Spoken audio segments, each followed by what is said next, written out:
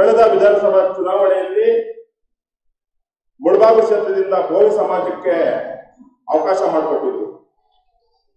ಬಂಗಾರಪೇಟೆಯಲ್ಲಿ ಬಲಗೈ ಸಮುದಾಯದ ದೊಡ್ಡದಾಳಿ ಸಮುದಾಯಕ್ಕೆ ಅವಕಾಶ ಮಾಡಿಕೊಟ್ರು. ಕೆಜಪ್ಪಲ್ಲಿ ಎಡಗೈ ಸಮುದಾಯಕ್ಕೆ ಅವಕಾಶ ಮಾಡಿಕೊಟ್ರು.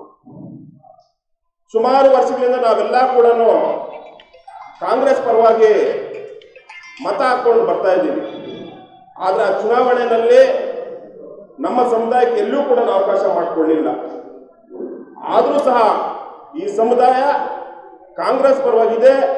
ಕಾಂಗ್ರೆಸ್ ಪರವಾಗಿ ನಾವು ಮತ ಹಾಕ್ತೀವಿ ದಿಕ್ಸೂಚಿಯಾಗೇ ದಿಕ್ಸೂಚಿಯಾಗಿ ಇವತ್ತು ಶೇಕಡ ಎಂಬತ್ತು ಪರ್ಸೆಂಟ್ ಇರುವಂತಹ ಕೆಜಪ್ ಮತ್ತು ಬಂಗಾರಪೇಟೆ ಕ್ಷೇತ್ರದಲ್ಲಿ ನಮ್ಮ ಸಮುದಾಯ ಮತ ಹಾಕಿರೋದ್ರಿಂದ ಇವತ್ತು ಎರಡು ಕ್ಷೇತ್ರದಲ್ಲಿ ಕಾಂಗ್ರೆಸ್ ಅಭ್ಯರ್ಥಿಗಳು ಗೆದ್ದಿದ್ದಾರೆ. ಈ ವಿಚಾರ ತಮ್ಮೆಲ್ಲರಿಗೂ ಗೊತ್ತಿದೆ, ಈ ಜಿಲ್ಲೆಗೂ ಗೊತ್ತಿದೆ. ಆದರೆ ಇವತ್ತು ಲೋಕಸಭಾ ಚುನಾವಣೆಯಲ್ಲಿ ಯಾವುದೇ ರೀತಿ ಇವತ್ತು ಈ ರಾಜ್ಯದ ಮುಖ್ಯಮಂತ್ರಿಗಳಾದಂಥ ಮಾನ್ಯ ಸಿದ್ದರಾಮಯ್ಯನವರು ಎಲ್ಲ ವಿಚಾರದಲ್ಲಿ ಸಾಮಾಜಿಕ ನ್ಯಾಯ ಕೊಡುವಂತ ವ್ಯಕ್ತಿ ಅವರು. ಅದಕ್ಕೆ ನಾವೆಲ್ಲ ಕೂಡ ಈ ಸಮುದಾಯ ಒಕ್ಕರಣೆಯಿಂದ ಅವರಿಗೆ ಒತ್ತಾಯ ಮಾಡ್ತೀವಿ. ಈ ಲೋಕಸಭಾ ಚುನಾವಣೆಯಲ್ಲಿ ಯಾವುದೇ ರೀತಿ ಬೇರೆ ತರ ಒತ್ತಡಕ್ಕೆ ಮಣಿದೆ, ಸಾಮಾಜಿಕ ನ್ಯಾಯದ ಪರವಾಗಿ ಇವತ್ತು ಕೋಲಾರ ಜಿಲ್ಲಾ ಲೋಕಸಭಾ ಚುನಾವಣೆಗೆ ನಮ್ಮ ಸಮುದಾಯ ಅಭ್ಯರ್ಥಿಯನ್ನ ಘೋಷಿಸಬೇಕಂತ ತಮ್ಮಲ್ಲಿ ನಾವೆಲ್ಲ ಕೂಡ ಒತ್ತಾಯ ಮಾಡ್ತೀವಿ. ಯಾಕಂದ್ರೆ ಇನ್ನು ಮುಂದೆ ಚುನಾವಣೆಗಳಿದೆ.